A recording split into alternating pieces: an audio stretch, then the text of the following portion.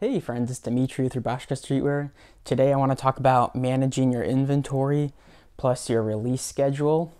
So this is basically a way that you need to structure your clothing brand or your streetwear brand so that you can go on from there and figure out how you want to construct your business. So we have three models. We have the scarcity model, the restock model, and the mixture model. That's just a name that I made up basically. These two, you probably have heard of them before. So the first one that we're going to talk about is the scarcity model. This is basically a common business tactic that businesses use where they only make a limited amount of items and then this incentivizes the customer to want to purchase them. So that's the first thing that you want to know is that you make a limited amount and this amount is obviously determined by how large your customer base is. You want to make it limited enough that it will sell out and people still want it, but you don't want to make it so limited that you're not going to be making enough profit and money off of it to uh, grow your business and keep it running. So you want to find a happy medium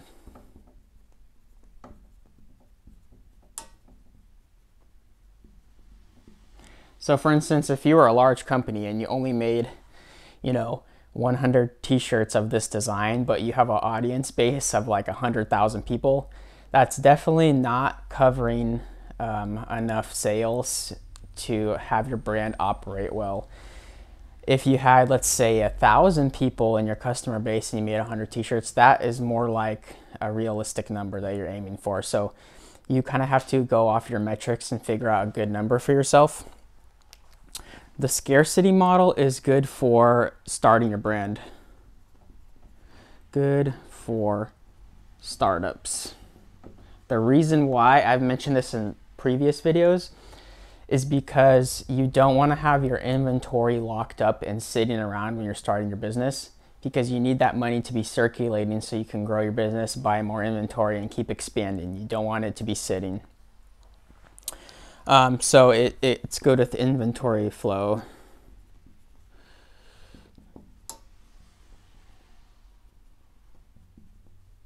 And I would say, I would recommend that if you are starting out your brand and you, well, we're going to go on to these two models and you want to do this model or that model, I think definitely the first year of your brand, you should definitely start out with a scarcity model and make only a limited amount of your product and make sure that the customer knows that.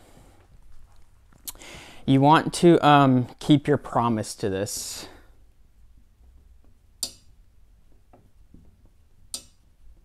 So if you are making a limited amount of uh, design or of a t-shirt hoodie, something like that, make sure that you, you don't uh, break that promise with your customer because it makes their item more valuable, especially on the resale market.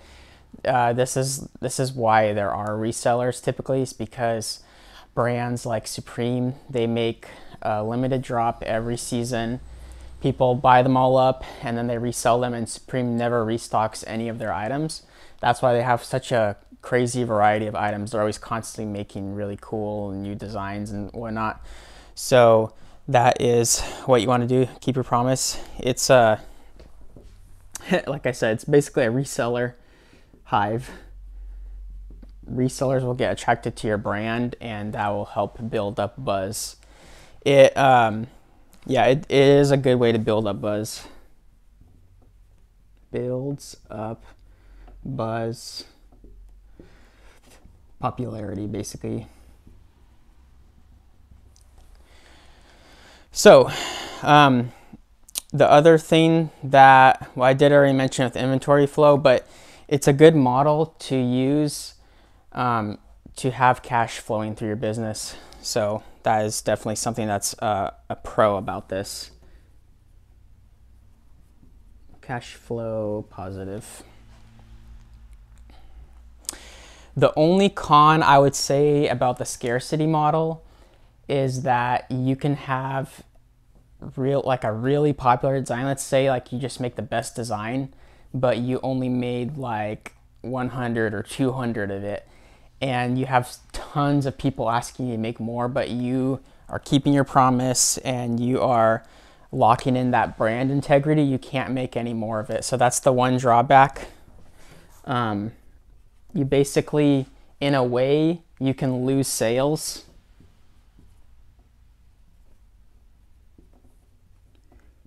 Because you might you might end up not making enough to fulfill that that happy medium that you're trying to find. Now, on the opposite end, let's say that you are making you had a design, but you really did like you didn't sell out really fast enough where it uh, looks like it's scarce and people want it. So now you have leftover inventory of that. So that's the that's the trick. You have to find the happy medium between um, not losing sales or you know or losing sales. I guess what I that's what I mean. So now we go on to the restock model. This one is uh, very popular. It's really popular because you ha can have a tremendous amount of sales.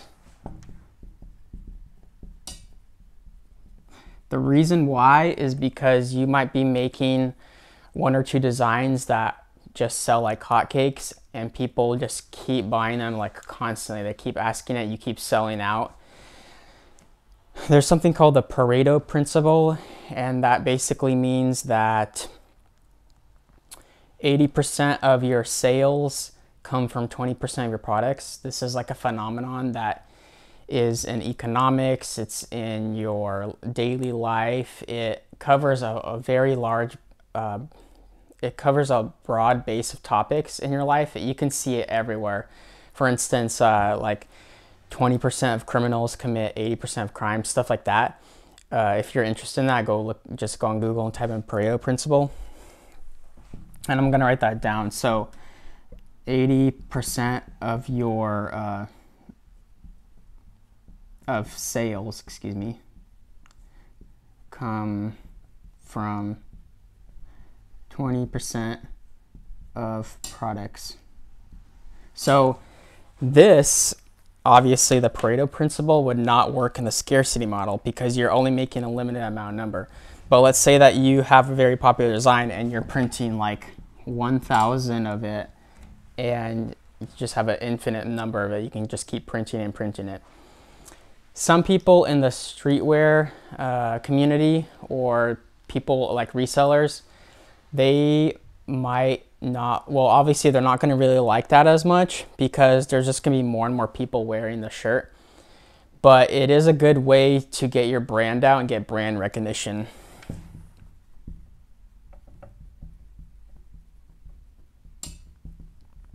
You can obviously get brand recognition from the scarcity model because there will kind of be a lot of hype surrounding it when it's really limited.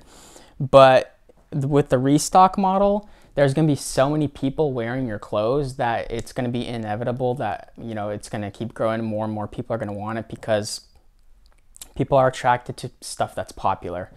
People are obviously also attracted to stuff that's underground and hard to get. That's what makes it popular as well. It's that's why you, there's not really a right answer of which model that you want. It just depends on the way you want to structure your business and how you want to do it that's what it really depends on there's not one right way to do it. I would say that if you're using the restock model, there is a good chance that you will make more money. Um, more than the scarce model because like I said, you can just keep printing however, however many your uh, customer demands. There is one important difference between the scarcity model and the restock model, and that is inventory management. So, with the scarcity model, if you're only making a set amount, you do not have to set up as many systems as you do with the restock model. With the restock model, you have to make sure that you set up a, uh, like a Kanban system. I've made videos about that which means that you are, it's triggering a signal for you to reorder with your suppliers. That way you're not having stuff um, sell out and then the customers are waiting months for you to get more inventory. You get the, you get the inventory replenished on time so that the customer is able to buy stuff. Because what will happen inevitably is that you're going to have customers that really want that popular t-shirt or hoodie. They're going to go to your website and it's going to be sold out. Now, I've been I've had a lot of people uh, complain about that on my website but the reason why that happens on my website a lot is because I run a mixture model. I don't necessarily run a restock and a scarcity model. I kind of do both. Uh, a lot of businesses are also geared towards this one. And I find this one to be kind of more fun, I guess, a, a way to run your business, and I'll explain why. So, this is obviously both the scarcity model plus restock. So with this one, you can, there's some clever ways of going about it. So I can have a design, so one design, but I can have limited releases of a style of it. So what I mean by that is, I'll give you an example. Let's say that I have, let's say that I'm making a logo t-shirt. I can make 100 of a black shirt and then I could cut it off and I can I will not make any more of that but I can go on and use the same design and I can make 100 of a red shirt then I could cut it off so what this does is that the customer they might not be able to get the black shirt but they want the design they want that logo shirt but they will be able to get the red shirt and I actually don't uh, necessarily do this in my business with the logo stuff. I think logo stuff you should make it not. It doesn't really matter to make it limited. You wanna. I would suggest making uh, your logo tees and logo hoodies. Those aren't really important to, to be scarce because you want your brand name to get out there and just just make however many you want of those. I think with the scarcity model, you want to use more of the you know complicated and cool designs that you want to keep uh, to a minimum. And then like another example could be once that runs out, I can make 100 uh, logo hoodies in uh, black. And then I could cut that off.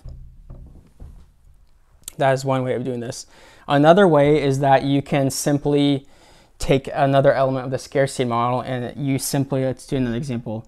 You just do 100 uh, shirts of a specific design and then you cut it off and you don't make any more of that. But then you have another uh, t-shirt that you make tons of them and you completely restock. This is what I do. So I've had about I would say 75% of my items are scarce and then I have a 25% that I restock. And this actually is pretty close to the Pareto principle that naturally happens in life. I've just noticed that I tend to have designs that are like 75% of them I don't re-release and then 25% I do restock. But even in but even in my restock, I use the scarcity model. So I might only restock. I might restock a T-shirt, but I make it in a new color. So that means that the original, let's say I released 100 black T-shirts, those are gone, and I'm not remaking those. But I will make the I will uh, restock the design. But let's say I restock it in 100 gray T-shirts. So this is kind of a workaround that you can do. It keeps things fun it also, um, you don't have to constantly be making new designs because designs can cost you time and money. That's something important to realize. Designs cost time plus money. So by doing a hybrid version, a mixture, you know, actually that kind of sounds better. Let's call it hybrid. By doing a hybrid model, you are able to get the best of both worlds from these two things. And in this hybrid model, you definitely uh, have to do an inventory management right here. So those are the three main methods of managing your inventory plus releases, or I call them drops. A lot of uh, brands call them drops. So I wouldn't say there's a right or wrong way to do it. It really depends on what you want and how you want to structure your business. If you're starting out, I recommend doing the scarcity model and then shifting over into a restock model or a hybrid. But if you but if the scarcity model is working just super great for you, um, you can still do that. Another one other thing with the scarcity model is that when you're finding the happy medium, you don't have to keep the same amount of stock that you're using um, your entire like throughout your entire business career you probably can you probably should be incre- increasing your your stock levels as your brand is increasing but do it in a way where it makes sense so like I mentioned earlier, if you have, a, let's say you have a thousand customers in your customer base and you're releasing 100 limited t-shirts, but then your customer base grows to 100,000, I wouldn't recommend growing that limited release to 20,000 t-shirts. It'd be more realistic to, to grow that release to, let's say, 1,000 t-shirts. So you wanna make sure that it's keeping in line with your customer base and you're not overstocking stuff so that your scarcity model is now turning more into like a restock model or something else. So that was one additional point. Anyways, I hope you guys liked this video. Uh, leave me some comments down below if you have any questions and I will catch you guys later. Thanks.